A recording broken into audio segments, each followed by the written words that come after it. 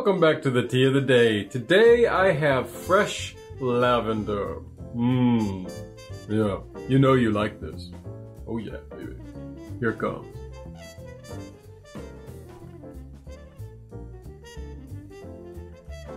Yeah. Oh.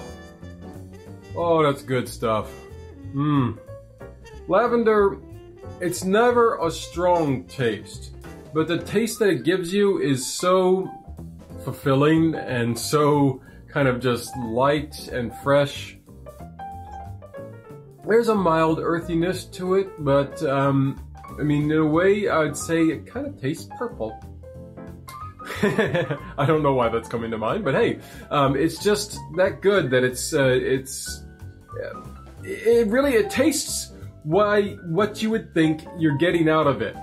So the actual benefits it has when you taste it, you immediately kind of feel some of those. Like I immediately feel like this could improve my sleep because it relaxes me. I immediately feel like it could de-stress me because it does the second I sip some. Um, Beyond that, it's also supposed to be good for skin health, including acne. It's supposed to be good for your immune system, for boosting cell uh, production. It's supposed to be good for headaches, which makes sense because it's relaxing you so much. And it's also supposed to be good for your digestive health, your respiratory health, which is nice. Um,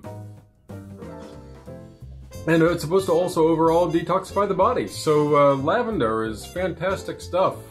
Um, if you ever get a chance, Try it out. I'm this this is the fresh stuff too. I mean, it's really good as well dried. I've had both and they're both good, but try the fresh. I mean, there is a difference. It's slightly better. Trust me. Fresh.